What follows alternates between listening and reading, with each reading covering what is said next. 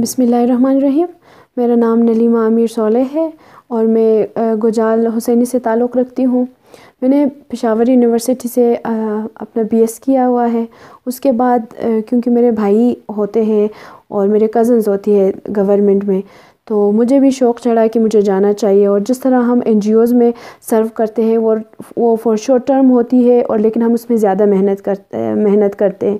تو میں نے یہی سوچا کہ اگر ہم جتنا محنت ہم این جی اوز میں کرتے ہیں وہ محنت اگر ہم سرکار میں کرے، اپنی گورنمنٹ میں کرے تو ہم بہت اچھے کنٹریبیوٹ کر سکتے ہیں اپنی کنٹری میں۔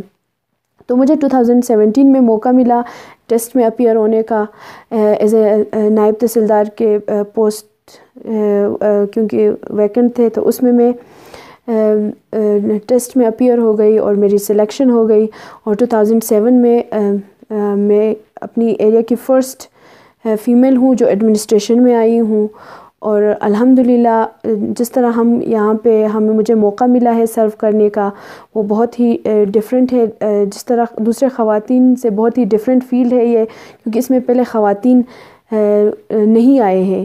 اور میں یہ سمجھتی ہوں کہ کوئی بھی ایسا فیلڈ نہیں ہے جس میں خواتین سرو نہیں کر سکتے۔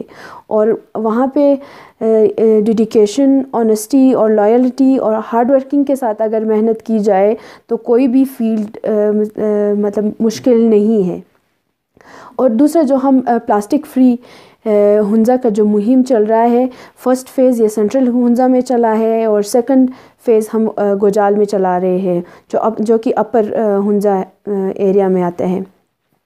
اس ہم نے تقریباً ایٹ تھاؤزنڈ سے زیادہ گوجال ون اور گوجال ٹو میں ہم نے ڈسٹریبیوٹ کی ہے۔ کل ہی ہم نے فائیو تھاؤزنڈ گوجال ٹو میں ڈسٹریبیوٹ کی ہے، جو کہ غلاپن سے لے کے مسگر چپرسن سب ایریا کو وہ کور کرتا ہے۔